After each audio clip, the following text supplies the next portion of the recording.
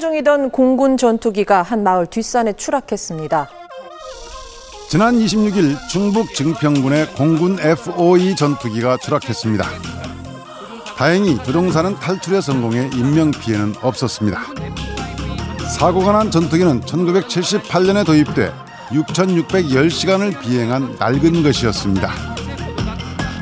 처음 그 비행기를 만든 사람들이 만든 그 어, 설계 수명은 4,000시간 정도 타면 수명이 다 했다고 이제 보는 것을 우리 이제 어, 한국 공군에서는 더 쓰는 걸로 해서 지금 어, 타오는 거죠. 다른 나라에 그냥 줄 수가 있는데 보통 1달러 1불 주고 줍니다. 거기에 타고 있는 조종사는 150억짜리 조종사. 그러나 설계 수명을 훨씬 넘겨가며 하늘을 날고 있는 한국 공군의 F-5 전투기들은 예정보다 2년 더 불안한 비행을 해야 될지도 모릅니다. 지난해 1월부터 2년 가까이 진행되어 온 차기 전투기 도입사 이른바 FX 3차 사업이 마지막 단계에서 원점으로 돌아갔기 때문입니다.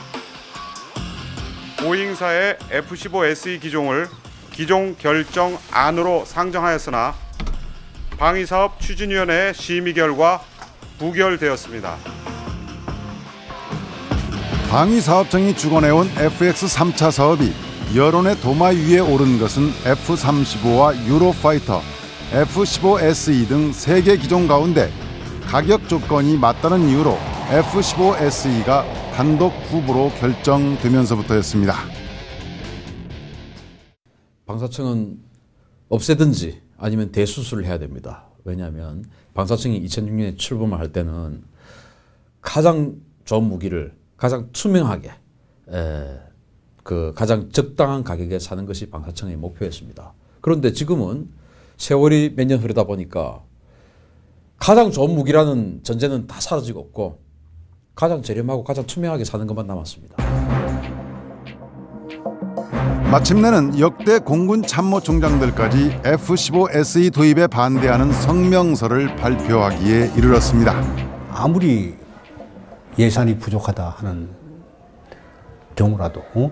떻게 앞으로 40년간 우리 안보의 핵심 전력이 될 자기 전투기를 구입하는 사업에 있어서 성능은 따져볼 기회도 갖지 못하고 가장 값싼 항공기를 산다. 이건 좀 문제가 있는 것 아니냐. 그래서 이건 분명히 문제를 제기하고 시정돼야 되겠다 하는 차원에서 건의를 하게 됐던 겁니다. FX 3차 사업의 기종은 원래 작년에 결정하기로 됐지만 정권 교체와 맞물려 선정 시점이 여러 차례 번복됐고 결국 이번 정부로 이양됐습니다.